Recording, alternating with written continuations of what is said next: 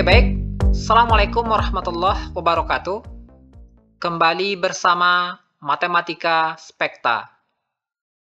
Kali ini kita akan membahas cara membagi pecahan dengan bilangan desimal. Dan juga sebaliknya, membagi bilangan desimal dengan pecahan. Ini adalah video update dari video sebelumnya. Kali ini kita akan memberikan penjelasan yang lebih detail. Oke, kita langsung ke contoh soal yang pertama. Contoh soal yang pertama, 2 per 5 dibagi 0,6. Pecahan biasa dibagi bilangan desimal. Cara mengerjakannya mudah. Langkah pertama, ubah bilangan desimal ini menjadi pecahan biasa. Sementara, untuk pecahan biasa yang di depan ini, langsung kita pindahkan. Kita pindahkan ke sini. 2 per 5 dibagi. Ini bilangan desimal, kita ubah menjadi pecahan biasa, jadinya 6 per 10. Kenapa per 10? Itu karena bilangan desimalnya yang ini terdapat satu angka di belakang koma. Aturannya, jika satu angka di belakang koma, maka bikin per 10. Kalau dua angka di belakang koma, bikin per 100. Kalau tiga angka di belakang koma, bikin per 1000. Itu untuk menghilangkan tanda komanya. Sehingga pembilang yang di atas, langsung kita hilangkan tanda komanya. Oke, kita lanjutkan sama dengan. Langkah selanjutnya, 2 per 5 langsung kita pindahkan. Kemudian, tanda bagi ini kita ubah menjadi tanda kali. Setelah kita mengubah tanda bagi menjadi tanda kali, selanjutnya pecahannya ini, pecahan sesudah tanda bagi kita balik. 6 per 10 kita balik menjadi 10 per 6. Sama dengan. Langkah selanjutnya, kita kalikan. Yang atas kita kalikan sama-sama yang di atas, kemudian yang di bawah kita kalikan sama-sama yang di bawah. Oke, pertama yang atas dulu. 2 kali 10 kita peroleh 20. Per. Kemudian yang di bawah, 5 kali 6, 30. Kita peroleh hasilnya 20 per 30. 20 per 30 ini bisa kita sederhanakan. Maka kita sederhanakan. Sama dengan 20 dan 30 sama-sama habis dibagi 10. Maka kita bagi dengan 10. 20 dibagi 10, coret nolnya 1, tinggal 2. Kemudian 30 dibagi 10, coret nolnya 1, tinggal 3. Hasilnya 2 per 3. Kita pindahkan ke sini.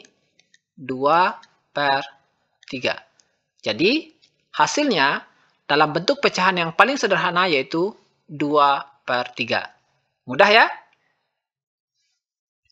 Kemudian, jika kita ingin perhitungan kita jadi lebih mudah, ingin mengerjakannya dalam perhitungan angka-angka kecil, maka sebaiknya kita sederhanakan perhitungan kita di sini. Oke? Oke, kita coba kerjakan dengan cara menyederhanakannya di sini. Kita tuliskan di bawah sini ya. Kita tulis ulang yang ini. 2 per 5 dikali 10 per 6. Sama dengan. Perhatikan cara menyederhanakannya. Aturannya, yang atas dan yang di bawah kita bagi dengan angka yang sama. Yang atas boleh yang ini, boleh yang ini. Kemudian yang di bawah boleh yang ini, boleh juga yang ini. Oke, yang penting yang atas dan yang di bawah kita bagi dengan angka yang sama. Oke, perhatikan. Ini 10, ini 5, sama-sama habis dibagi 5 kita bagi dengan 5. 10 bagi 5 kita peroleh 2. Kemudian 5 bagi 5 kita peroleh 1. Selanjutnya, ini 2, ini 6, sama-sama habis dibagi 2. 2 dibagi 2 kita peroleh 1. Kemudian 6 dibagi 2 kita peroleh 3. Langkah selanjutnya, yang atas kita kalikan sama-sama dengan yang di atas, dan yang di bawah kita kalikan sama-sama dengan yang di bawah. Yang atas dulu, 1 kali 2, 2 per. Kemudian yang di bawah, 1 kali 3, 3. Kita peroleh hasilnya 2 per 3. Sama, yang ini juga 2 per 3. Hanya saja, cara perhitungan yang di bawah ini akan lebih mudah karena perhitungan kita di angka kecil. Kita tidak melibatkan angka 20 dan 30 seperti yang di atas ini. Oke? Oke, kita lanjutkan ke contoh soal nomor 2. Contoh soal nomor 2. 0,6 dibagi 2 per 5. Bilangan desimal, yang ini dibagi pecahan biasa. Angkanya masih menggunakan angka yang di atas. Kita akan lihat bagaimana perbedaannya. Seperti tadi, caranya ubah bilangan desimal menjadi pecahan biasa, sementara pecahan biasa tetap langsung kita pindahkan. Oke, pertama, bilangan desimal yang ini kita ubah menjadi pecahan biasa. 0,6 jadinya 6 per 10. Kemudian dibagi. Yang ini pecahan biasa, langsung kita pindahkan. 2 per 5. Sama dengan. Langkah selanjutnya, 6 per 10 ini kita pindahkan. 6 per 10. Kemudian, tanda bagi ini kita ubah menjadi tanda kali. Setelah kita mengubah tanda bagi menjadi tanda kali, maka pecahan sesudah tanda bagi yang ini kita balik. 2 per 5 kita balik menjadi 5 per 2. Sama dengan. Oke, selanjutnya kita kalikan. Yang atas kita kalikan sama-sama yang di atas dan yang di bawah kita kalikan sama-sama dengan yang di bawah. Oke, pertama yang atas dulu. 6 kali 5, 30. Per. Yang di bawah, 10 kali 2, 20. 30 per 20 ini bisa disederhanakan, maka kita sederhanakan. 30 dan 20 sama-sama habis dibagi 10. 30 dibagi 10, tinggal 3. Kemudian 20 dibagi 10, tinggal 2. Jadi hasilnya 3 per 2. Kemudian 3 per 2 ini pecahan biasa. Karena pembilang lebih besar daripada penyebutnya, maka kita ubah menjadi pecahan campuran. Sama dengan. Cara mengubahnya, 3 dibagi 2 kita peroleh 1. Kemudian bikin per 2. Untuk angka di atas ini, cara mencarinya, ambil 3. Kemudian dikurang. Pengurangnya 1 kali 2. 1 kali 2, 2. Sama dengan 3 dikurang 2, kita peroleh 1. Nah, 1 yang ini kita taruh di atas sini. Jadi hasilnya 1, 1 per 2. Bisa ya? Oke, seperti tadi, jika kita ingin perhitungan kita jadi lebih mudah, menghitung dengan angka-angka kecil, maka kita bisa sederhanakan perhitungan kita di sini. Oke, kita tulis ulang yang ini sama dengan 6 per 10 dikali 5 per 2 sama dengan. Seperti tadi, untuk menyederhanakannya, yang atas dan yang di bawah kita bagi dengan angka yang sama. Oke, yang atas boleh di sini, boleh di sini, begitu pula yang di bawah, boleh di sini, juga boleh di sini. Oke, perhatikan. 6 dan 2 sama-sama habis dibagi 2, maka kita bagi dengan 2. 6 dibagi 2 kita peroleh 3. Kemudian 2 dibagi 2 kita peroleh 1. Kemudian 5 dan 10 sama-sama habis dibagi 5. 10 bagi 5 kita peroleh 2. 5 dibagi 5 kita peroleh 1. Selanjutnya kita tinggal kalikan. Yang atas kita kalikan sama-sama dengan yang di atas. Dan yang di bawah kita kalikan sama-sama dengan yang di bawah. Pertama yang atas dulu. 3 kali 1 kita peroleh 3. Per. Yang di bawah 2 kali 1 kita peroleh 2. Hasilnya 3 per 2, sama seperti yang di atas ini ya. Langkah selanjutnya, karena pembilang lebih besar daripada penyebutnya, kita ubah menjadi pecahan campuran. Jadinya seperti ini, 1, 1 per 2. Bisa ya? Oke, kita lanjutkan ke contoh soal nomor 3. Oke, contoh soal nomor 3. 4, 1 per 2 dibagi 1,25. Contoh soal nomor 3 ini, pecahan campuran dibagi bilangan desimal. Prinsip pengerjaannya sama seperti tadi, kita ubah semua pecahan menjadi pecahan biasa. Yang ini pecahan campuran kita ubah menjadi pecahan biasa. Caranya 4 kita kalikan dengan 2, nanti hasilnya kita tambahkan dengan satu yang di atas. Oke, kita ulang. 4 dikali 2, 8. 8 tambah 1, 9. Kita tuliskan di sini. 9 per 2. Kemudian dibagi. Ini bilangan desimal kita ubah menjadi pecahan biasa. Jadinya 125 per 100. Kenapa per 100? Itu karena di sini bilangan desimalnya terdapat dua angka di belakang koma. Ingat aturannya? Kalau satu angka di belakang koma, bikin per 10.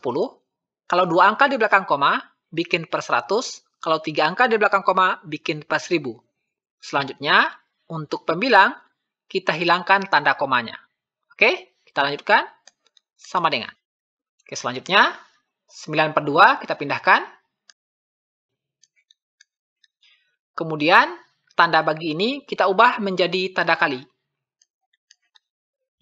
Setelah tanda bagi kita ubah menjadi tanda kali, kemudian langkah selanjutnya, pecahan sesudahnya, yang ini, sesudah tanda bagi, kita balik. 125 per 100, kita balik menjadi 100 per 125.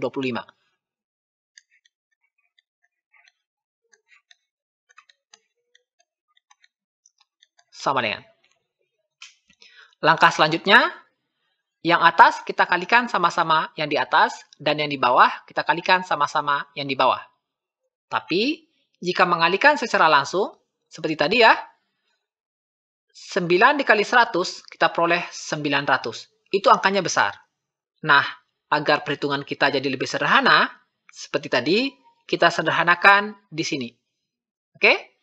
Cara menyederhanakannya, yang atas dan yang di bawah kita bagi dengan angka yang sama. Oke? Perhatikan, ini 100, ini 125. Sama-sama habis dibagi 25, maka kita bagi dengan 25. 100 dibagi 25, kita peroleh 4. Kemudian 125 dibagi 25, kita peroleh 5. Kemudian 4 dan 2 sama-sama habis dibagi 2. Kita bagi dengan 2. 2 dibagi 2 kita peroleh 1. 4 dibagi 2 kita peroleh 2. Sudah tidak ada angka yang bisa kita sederhanakan, langsung kita kalikan. Cara mengalikannya, yang atas kita kalikan sama-sama yang di atas, dan yang di bawah kita kalikan sama-sama yang di bawah. Yang atas dulu, 9 kali 2, 18. Per, yang di bawah, 1 kali 5, 5. Kita peroleh 18 per 5. 18 per 5 ini pecahan biasa, pembilang lebih besar daripada penyebutnya. Maka kita ubah menjadi pecahan campuran. Oke, kita sambung di bawah sini ya. Sama dengan. Cara mengubahnya, 18 dibagi dengan 5. 18 bagi 5 kita peroleh 3. Kemudian bikin per 5.